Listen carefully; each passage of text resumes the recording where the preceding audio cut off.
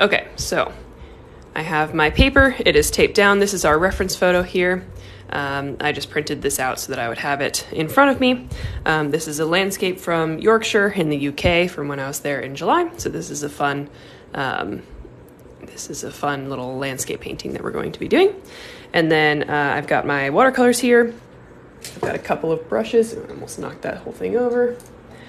I've got these smaller brushes and then I've got a bigger one in my cup already that I'll be using. Um, and I'll go through my art, my the brands of the art supplies real quick. This is Strathmore watercolor paper. This is good if you're a beginner. Um, it's really, it's pretty cheap, so you can find it in any art store, and it's not too, it won't break the bank. So um, if you're looking for some watercolor paper to start out, this is a good brand, Strathmore. Uh, my watercolor paints are Winsor and Newton. So you can check those out if you want. These are professional watercolor paints, so they are a little bit more expensive. You do not need expensive watercolor paints to paint along with me. And then my brushes are Princeton Neptune. So all of my art supplies, this stuff, and then everything that I've tried before and that I would recommend is um, available in my bio. There's a link in there that's called Art Supply Recommendations, and that'll take you to my Amazon storefront where I have all of my art supply recommendations. And it helps me because I get a little commission off of that too. Okay, so um, like I said before, we're going to have our paper here in the horizontal position, so the landscape position.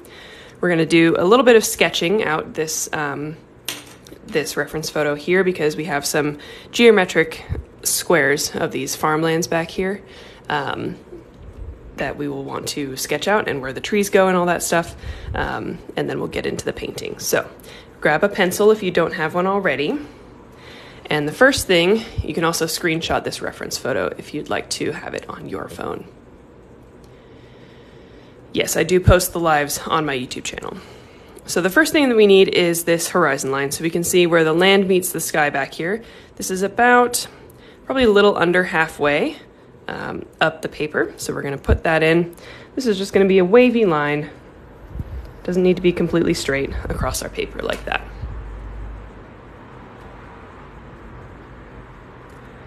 Okay. And then we've got some other land that's kind of in the distance here, so we might do a few little lines, another kind of wavy line right under this first one that we made. So maybe this one will go like that. I don't know. Okay. And then we're going to draw out these clumps of trees. So we have one big kind of clump of trees here and then one big clump of trees here. So we're just going to draw those out now. So let's start with this one. This line of trees comes down um, towards the center of the paper. This is about halfway across the center of the paper, long ways. And that just goes something like that. And then we can kind of add the fluffy shapes of the trees on top. Doesn't need to look like anything right now. This will be watercolor paints. And yes, this gets uploaded to my YouTube channel, linked in my bio. This one and all the previous lessons that I've done are on there too. So you can go subscribe. I'm trying to get to a thousand subscribers on YouTube, so help me out. Okay, so there's that first closer up clump of trees, and then we've got this one that's further away. Now the line of trees here goes facing up a little bit more, so we want to angle this bottom part up and then draw those fluffy parts in. So that's going to go like this, and then draw in those trees. So very simple shapes, nothing super complicated here. Okay, so that's what we have so far. And this is just going to inform how we paint this. This is not like the final shapes of all of these things. We just want to kind of know where these things are going to go if that makes sense. Okay, now in the background here, we want to have some of these um, squares. This is what kind of makes it look like farmland. So we have one line here that connects those two clumps of trees that we just drew. And then we're just going to um, put in a few of these lines, add in some rectangles. You don't need to copy this reference photo exactly. Um, just add in some rectangles in the distance here. So we have one line that goes across here between those two clumps of trees. And then maybe we've got one that goes up like this, a rectangle there, another rectangle there, Yeah, I think that looks good. So just a couple rectangles. And then we'll add some trees into those later. We don't need to draw those out. Okay, so I hope that made sense. This is all we need to draw out right now. Um, and then we're going to paint on top of this.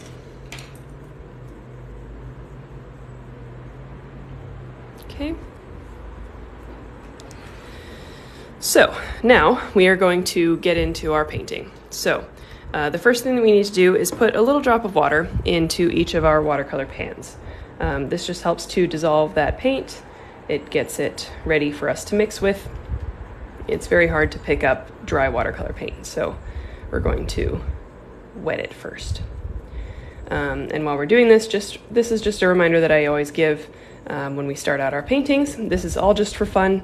We are all here to just paint together, and hopefully, uh, you'll learn something and you know enjoy the process. Don't worry about the um, outcome, especially if you're a beginner artist. It does not need to be a masterpiece. We are just here to paint and learn and have fun. So try and keep that pressure off yourself of of um, you know making a fantastic painting because we're only painting for an hour. So don't worry about it too much. Okay. Um, now, for this sky, we've got, you can see here, we've got some clouds and we've got some blue sky. We're not going to go in and paint very detailed clouds in here. We're going to do a wet on wet technique, which is going to give us some very loose clouds, and we're going to have that be kind of the background, and then we're going to focus more of our attention onto the foreground here. So, um, for this, we need two colors. We need a sky blue and a gray. So use whatever blues you have in your palette mix up something that looks like a sky blue to you. And then do the same thing with gray. If you have gray in your palette, go ahead and use that. If you just have black, you can use that and mix maybe a little blue into it. But we just need two colors, blue and gray, and mix those up. And I can swatch those for you too. They don't have to match mine exactly. Use whatever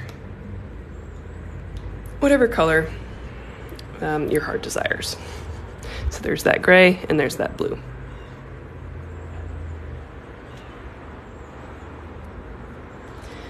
And also, while we're doing this, if you guys want to double tap the screen, that sends me likes and it helps me out with the TikTok al- algorithm. It, um, you know, pushes this live out to more people, which is always appreciated. And it's fun to see how high up we can get that like number to go. All right, so for the sky section, we're going to be doing a wet on wet technique, which means we're going to put water down on the whole sky section, water from our cup, and then we're going to drop in that blue and that gray color. So um, uh, I will do it first, and then I can give you time to do it after me if you don't know what we're doing. If you do know, go ahead and do it.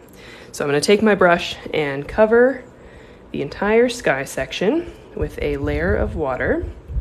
Make sure you tilt your head, that lets the light reflect off of the paper. And you can see if you've missed any spots. And just go all the way down to that land section. You can overlap it a little bit if you want. There we go. And then once your paper is fully covered in water, you can start with either the blue or the gray, up to you. And we're just gonna start putting in some shapes. Um, it does not need to really look like anything. I would just suggest that you give it some movement, be brave, and just, you know, put some color in there. It doesn't need to look like anything in particular. Once you've put in the, blue, you can switch to your gray, or vice versa if you started with the gray. And make sure we're leaving a few white spots in here as well. We want some highlights on these clouds, and we do that by leaving a few white spots. And I'm also kind of fading this out as I get down toward the bottom here. Okay, so there, that's a very easy wet on wet sky. You can leave it like this to dry if you want to, or you can tilt your paper. This will make all of that color run around. And it'll kind of blend it all together really nice and softly. Look at that, we're already up to 11,000 likes. That's awesome, you guys. So, and then once you're happy with the blend that you've gotten, you can just let it sit flat and that'll stop the blending. And one more option that you have is if you've lost those highlights, those white spots, you can take a dry brush, so dry it all the way off in your paper towel. And while it's still wet, you can pick up some of that extra color. and you can add those highlights back in. So I just recommend bouncing your brush around, making those kind of fluffy shapes. It'll look like clouds that are sitting there. Okay, so those are two options for you, tilting it and also using a dry brush to pick up some of those highlights.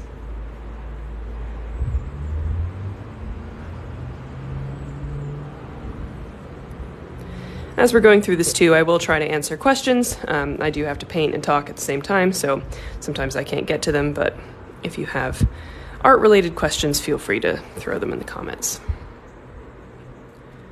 Okay, so there's our sky. I'm going to go ahead and leave that alone, and it's going to dry.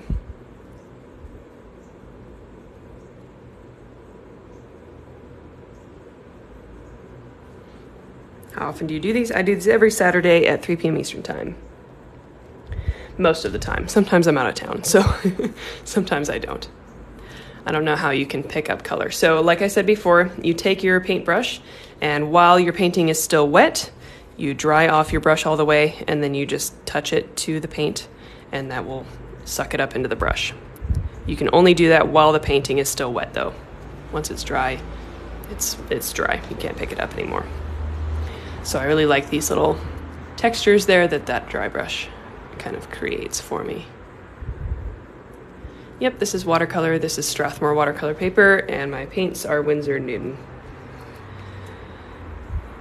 Okay, how's that going for everybody? If you're painting with me, let me know where you're at in the comments. If you need another minute or two, I'd be happy to give you another minute, or if you're ready to move on, let me know. And if you've got any art related questions, feel free to throw them in the comments. Do you erase the pencil after? Nope, I don't. Um, this is a dark enough painting, and we've got some stuff that's going in these pencil lines that I don't really need to. We, we shouldn't be able to see them when we're done. Um, but sometimes if I'm if I know it's a lighter subject, then I will erase lightly with my kneaded eraser here that you can see that kind of lightens up the pencil there. Um, and that helps to not have that pencil show through at the end. How many brushes do you use or need? Um, I usually use like two to three brushes per painting. It depends on how big it is. Are all your lives uploaded to YouTube? Yep. Can a beginner do this? Absolutely. Where did you get your paint palette? The art store, uh, my local art store. Would this work with gouache as well? Yep. You just have to change a few of my instructions here, but um, yes, this would definitely work with gouache. I messed it up. No, you didn't. You're still in step one. Wait until the final step to say that you've messed it up. Watercolor is all about digging yourself out from the ugly stage, I promise.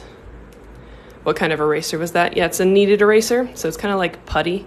Um, and it kind of, you just kind of knead it up like this, and then you touch it to the pencil, and it lifts up the graphite instead of a regular eraser where you scrub it around.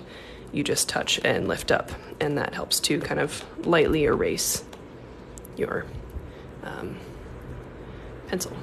How soon will this be on YouTube? It'll be on there tomorrow can use watercolor on canvas. Uh, you can, it'll look a little bit different, but um, you definitely can, and I would recommend you experiment with that.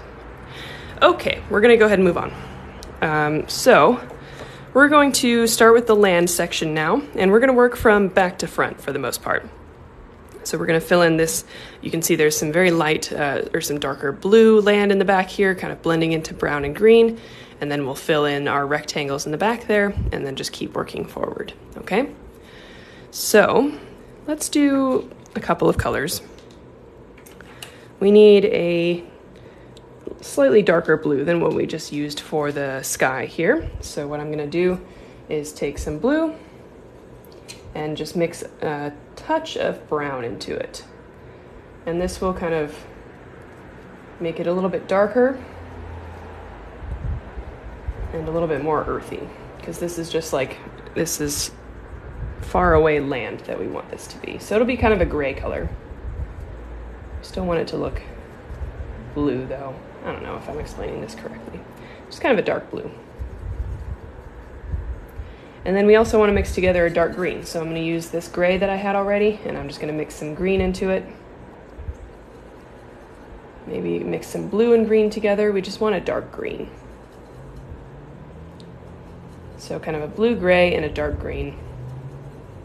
Those are the colors we're mixing up right now.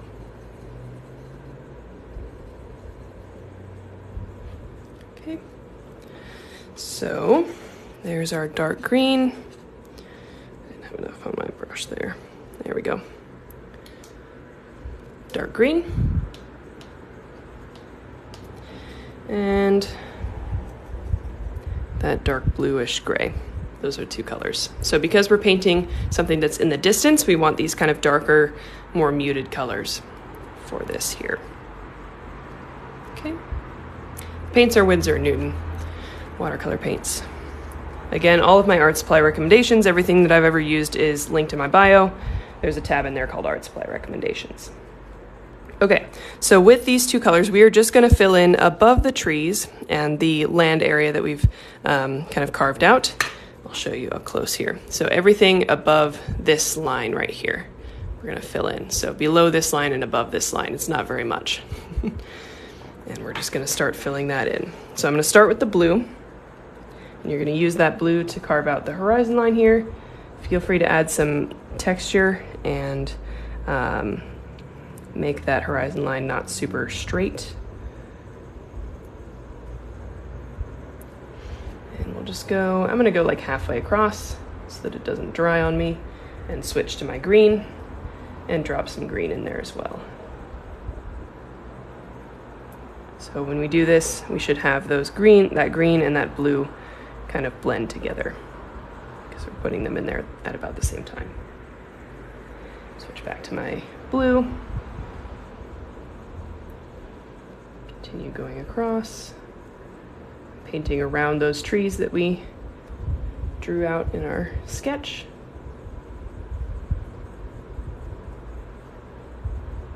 There we go. So there's that distant land there.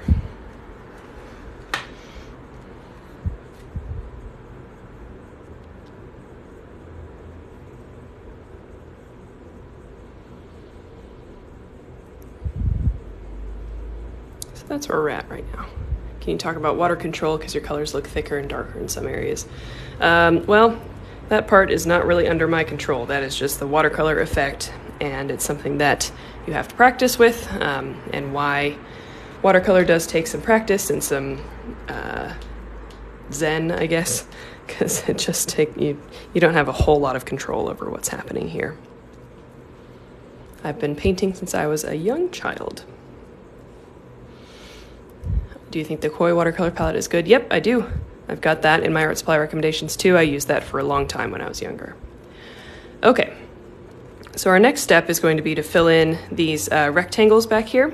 And you can see that there's a couple of color options that we have. We have this like kind of brown, golden brown color um, that we can use. We can also fill it in with green. So feel free to not copy the reference photo if you want to put some different colors into these rectangles back here. You are welcome to. It does not need to match this exactly. I'm going to do, we're going to mix together kind of a lighter green. So mix together green and yellow. That'll get you a nice lighter green. And then for that kind of dead grass color, I'm going to use yellow ochre. Maybe a touch of brown into that. And that'll give me a nice dead grass color. okay. So once you have those two colors, feel free to just fill in those um, rectangles in whatever way that you wish. Keep in mind that if you fill in adjacent ones, they could, the colors could bleed into each other. That is definitely an effect that you can just go for. Um, there's nothing wrong with that. But if you don't want the colors to bleed in together, then kind of alternate rectangles so that you're not touching the, you let the the color dry before you go to the next one. How do you know all the color names? I've been painting for a long time. do you clean your brush in between dipping to a new color or no? Sometimes. Sometimes I don't, sometimes I do. It depends on the colors.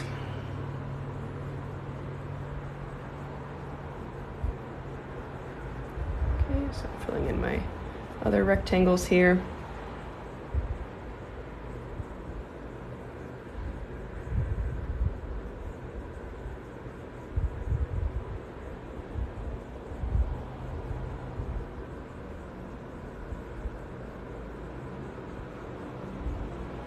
There we go. Oh, I have one more. One more in the front here.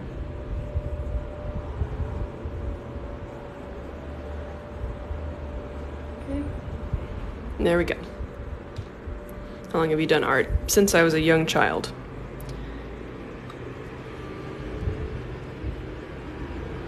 It's the hardest painting you've done. I don't know if I I don't know if I have like one in mind that I can tell you. I think they're all hard in their own way. Yeah.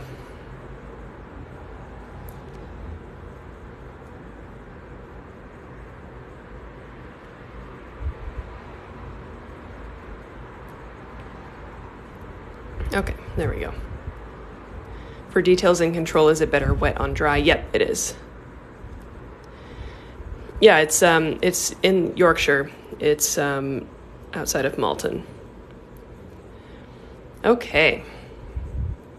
So now that we have our uh, background laid out, it's time for the foreground. And I forgot one other pencil line that we need to add in, which is um, this kind of dividing line between the end of these trees and over here um, to the right. We're not going to paint this whole shadow in here.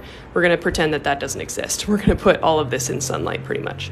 So we need one more line from the corner of these trees here to the edge of the paper for our last rectangle. Okay, and then we're going to fill in the grass in these two sections here. So this one is really, really light, really light greenish yellow. So we're going to do that. And then we're going to fill this one in with just a regular kind of grass green. Okay. So super light greenish yellow. So I'm going to mix together yellow and just a touch of green. Um, and then we're going to add a bunch of water to that so that it's a nice light color.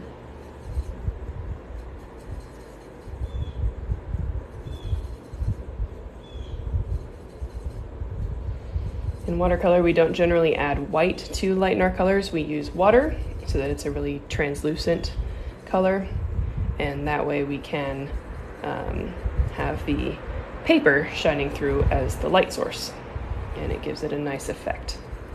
So once you've mixed up your really light yellowish green, we're just going to fill in this section on the left. We're just in the color blocking stages right now, so we're just filling in everything with blocks of color, and then we'll go in and add some details later once it's dry.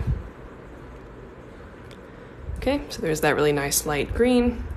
And then for this last section here, this biggest section, um, just mix up whatever kind of grass green that you want. Just kind of a mid-tone green. I really like mixing different colors into my greens and not just using um, what's coming out of the palette. That helps me get some color variety. And it makes it so that we can use lots of different greens on this um, painting and they don't all look the same. Okay, so there's my green. Another fun thing you can do while you're filling this in is just take some raw color from the palette and as we're filling it in, just drop that in some places. So I might take some yellow ochre just on my brush and drop that in and kind of follow the contours of the land and that just gives you a little bit of color variation in there um, and a little bit of interest, especially in this foreground area. You can do the same with blue, um, brown, whatever colors you want. So feel free to experiment with that. Here's some blue that I might drop in there. Again, following the contours of the land here, not just like scrubbing randomly. You want to do it somewhat intentionally.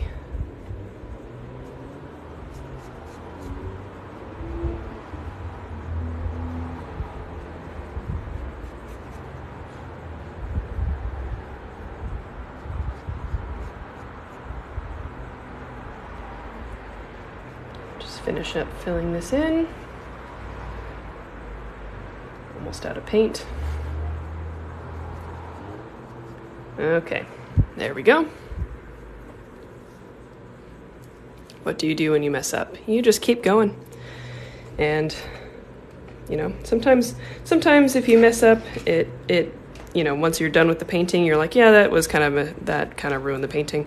But a lot of times, if you mess up in the kind of in the mid stages or like where we are now, um, you might think that you've messed up the entire painting, but really you just have to keep going and dig it out of the ugly stage and it will be much better. So that's my recommendation to you guys is to keep pushing past the ugly stage. I think it kind of deters some people from really pursuing art because you get to a point kind of halfway through the painting where it looks really ugly and you're like I, I've messed this up. It's it's it's not worth doing this anymore. But you really just have to kind of keep going with it. This doesn't, I mean, this doesn't look like anything right now, but you have to kind of keep going.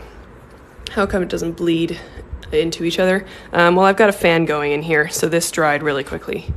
The colors are drying pretty quickly for me. Um, so it just kind of depends on the airflow and the humidity in your place.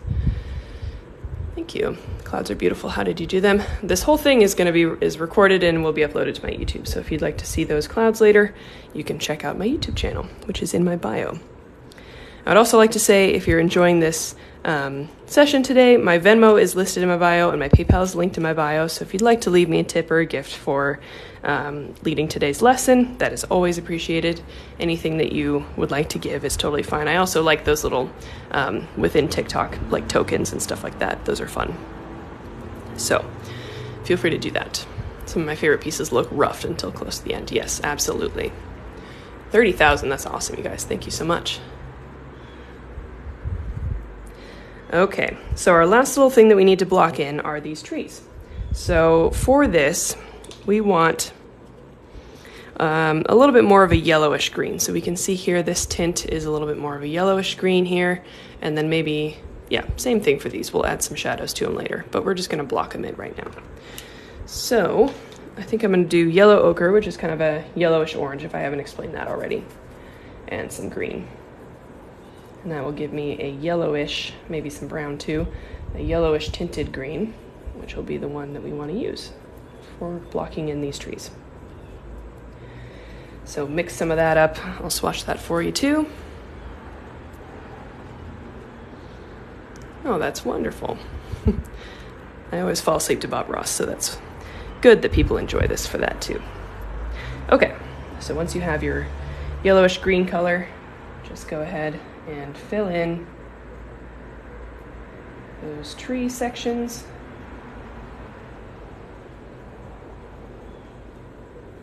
Just a flat wash.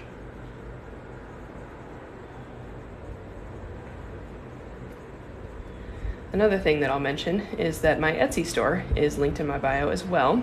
So if you'd like to check out the art that I sell on a regular basis, um, you can do that. Again, it's linked in my bio. I did just release some new fall things, and I haven't posted about it yet. Um, and so, if you want first access at some of my new fall things, make sure you check that out um, today and maybe order something for yourself if you want to, because once I post about it, usually things sell pretty fast. So, make sure you check that out if you're interested. I bought your prog print. Love it. Oh, that's wonderful. Thank you so much. I appreciate it. All right. So there we go. We've got our painting all filled in. This is not the final stage. we still have lots of details to put in here for it to look regular. Um, do you have good tips or advice for beginners? My general advice that I give almost every time is um, that art requires that you make a lot of mistakes and that you make a lot of bad paintings. So, as you're a beginner, um, try to just paint and enjoy it for the process. Don't try to, um, don't feel like you need to make a masterpiece when you're just starting out. It is very hard, um, and art is, you know, art is hard and it's a skill that needs to be developed. So, don't give up, you know, right away if you can't make paintings that you're super happy with right away. Just try to enjoy the process. Yeah, let's get to 40,000, guys. okay, so we're to get started with some of these details. And in the distance, if you can see here, we've got these kind of darker sort of shrubs, bushes that line these rectangles. So we're to put um, a darker green in between, kind of outlining all these rectangles. We might also dot a few of these little random trees in there with that color too. You can see that there's some random trees kind of sticking up everywhere. So Let's mix up a nice dark green. So I'm gonna mix together green, blue, and brown. That will give me a really nice, vibrant dark green. Green, blue, and brown, kind of equal parts, I would say. Maybe a little bit less brown.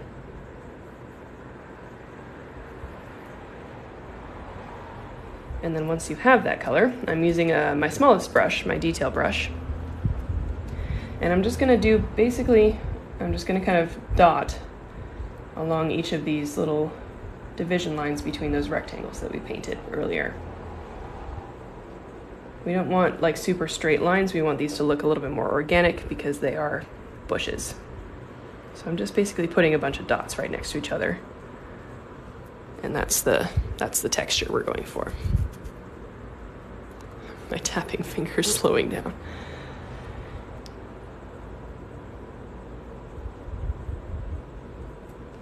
Okay, and then we can do these in the distance as well.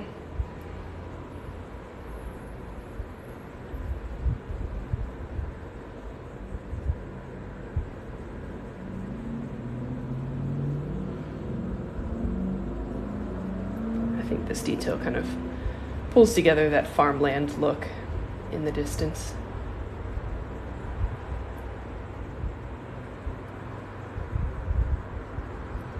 Okay, there we go. Yay, we got to 40. Good job, guys. Okay. And then with this dark color, we can also add just some little random trees in here. So those are just kind of irregular dots. We might put kind of around, maybe a few. I don't know. Kind of like that.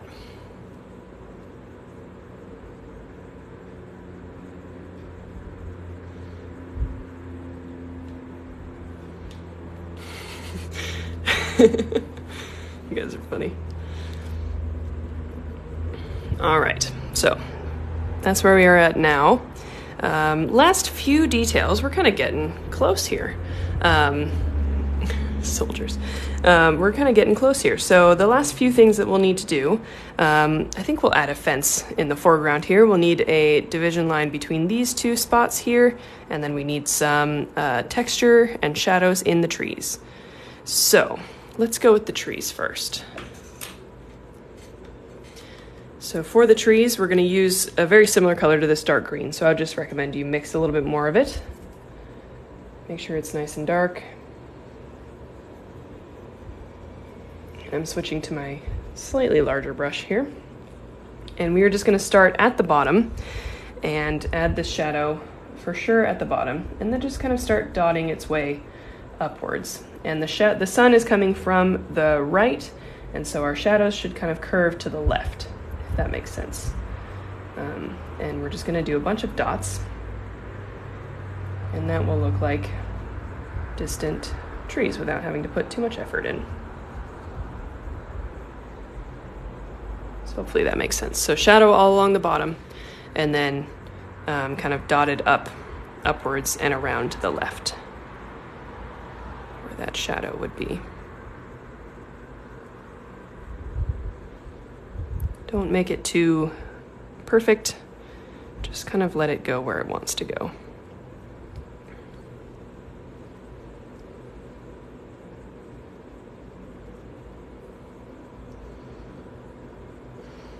We can keep layering colors on there if you don't feel like those shadows are quite dark enough. You can maybe change up that darker color, adding one, one color more than another, and add a little bit more in there as it dries if you want a little bit more texture.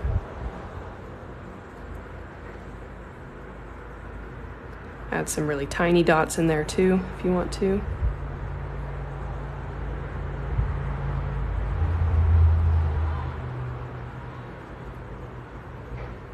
And that should be good. Okay, and then I'm going to do the same thing to these trees here. So dark color, making that shadow go along the bottom, and then curving up around the left side.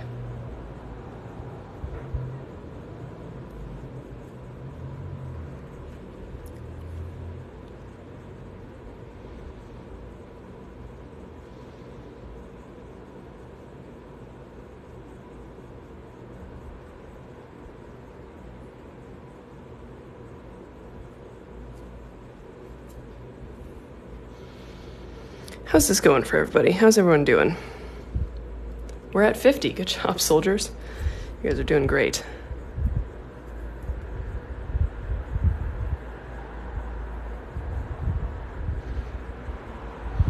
I do random dots and I'm like explosive diarrhea. It just takes practice, I promise.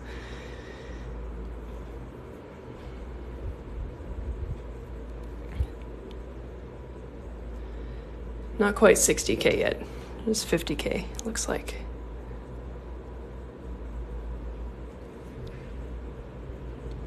Thank you. If you're just dropping in, this is a paint and sip. I'm leading people through a watercolor painting. I do these every Saturday at 3 p.m. Eastern Time. a few dots suddenly 3D trees appear. Yeah, that's the fun part about art. You can kind of make things out of nothing if you know these little tricks of shadows and color and all that stuff. It doesn't take very long to kind of start figuring that out.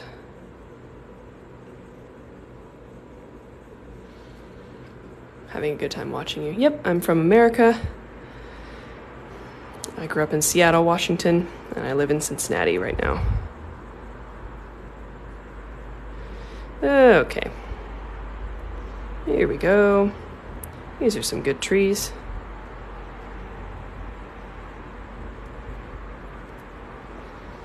I think that looks good.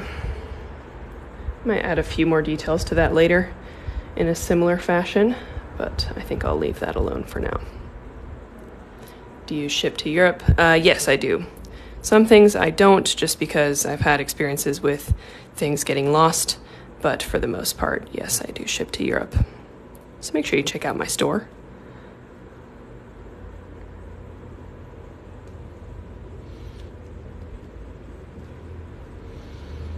We go. There's our trees. So we're really getting to the end of this. Hi from England. This is comforting. Wonderful. This is from Yorkshire. So you should feel right at home. Do you sell or keep? I sell most of my paintings, um, or at least put them up for sale.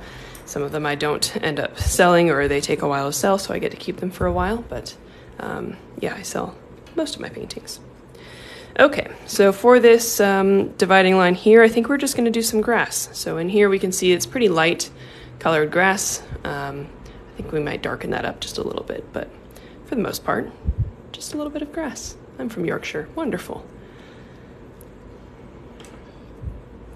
I went to a wedding in, this was um, in Deepdale, I think it was, Deepdale Farmhouse, outside of Malton and that was in July, so that's where this reference photo is from. So let's just grab some more green, shocker, um, just kind of a medium grassy green. And I'm gonna use my smaller brush and just start adding some grass along the border line here. Um, the grass should be taller um, towards the left side of this painting here, and it should be shorter as we work toward the middle because that's further away. So make sure we pay attention to the size of the grass and just start cutting it down as we work um, our way across. And the key to grass is having a nice small brush for sure, and also um, making sure we're adding varied paint strokes. So we don't want the grass to all go the same way. It'll end up looking like hair. So you want it to kind of cross over itself, have some thicker and some thinner have some like broken, um, just all different directions, all different weights, all that stuff. So we want to make sure we vary our brush strokes when we're doing this. And that should help it not look like hair.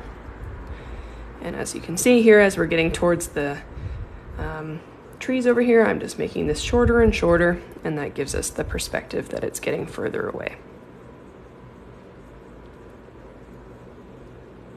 Just like that. The name of the paint set, it's Winsor & Newton.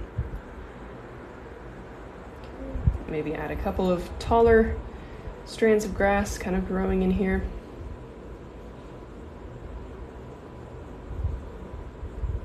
A few kind of curved over. It's always a good, a good move. And then we can use a darker green if you want to just add a little bit of shadow to this. So we'll use the darker green, kind of go over the top at the base of the grass, add a little bit of texture with that darker green. That'll just give us a little bit of a shadow.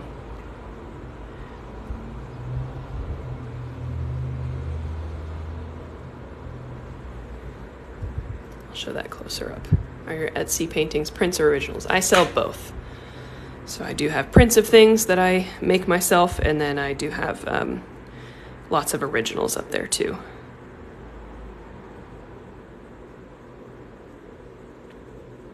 So this is what I'm doing with that dark green, just adding some shorter strands um, and some shadow at the base of the grass. Kind of like that.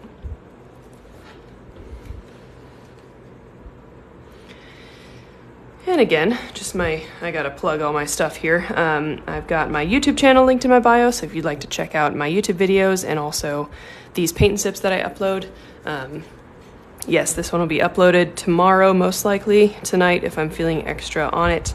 Um, I've got my Etsy shop linked in my bio as well, so if you'd like to check out my paintings, like I said before, I've got some new fall paintings that have not been promoted yet, so if you want to check those out before everybody else gets their hands on them, you can check those out.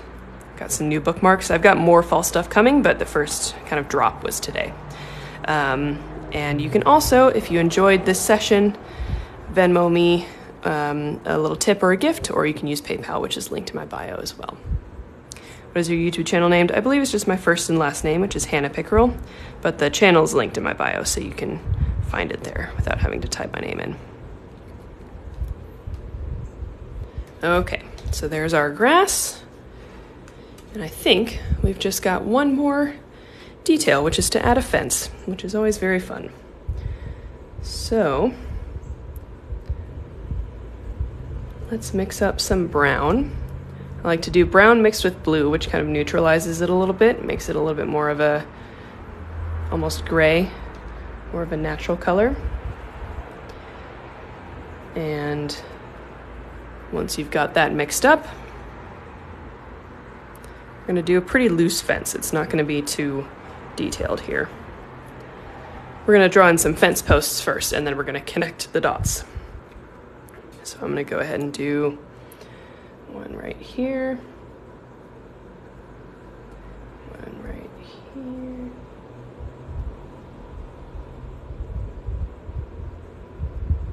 It's fun to kind of make them leaning slightly in different directions.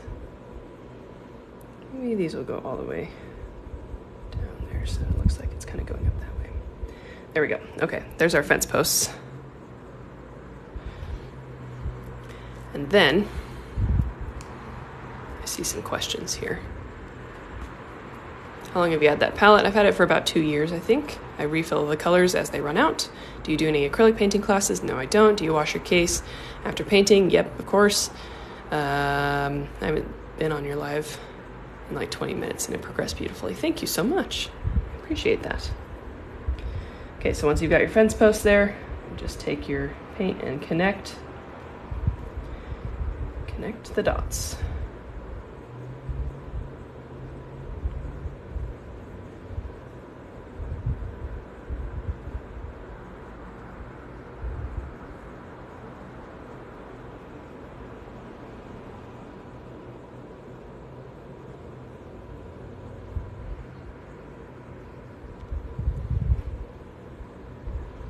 And there's our fence.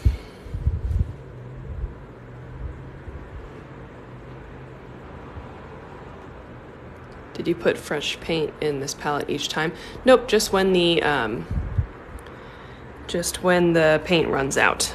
So you can see like I'm almost out of the red here, so I'll probably refill that soon, and then I just refill them as they need it. Okay.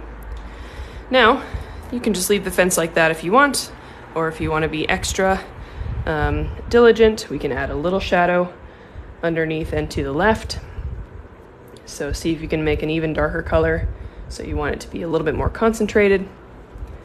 And use a small brush and just put in a line on the left side of each of these fence posts. And on the underside of the horizontal ones. Up to you, this is optional, but just helps to be extra diligent. And then you get to take off the tape. So if you stuck around, you get the reward of seeing the tape reveal. Where do you get the refill paint? I get it at the art store. They sell online and in person, they sell the um, paint in tube form. And so I just get a tube of the paint that I am out of, and that will refill that little palette there three or four times. So it's a good deal. Okay. There we go. There's our little painting. Time to take off the tape. I hope you enjoyed painting with me today. Art stores are so expensive. Art is an expensive hobby, I will say that. Um, but most hobbies do cost you money, so. And this is my job. But there are good ways to kind of save money on art supplies. I just made my bad painting. Great, good job. You can't make good paintings if you don't make bad paintings.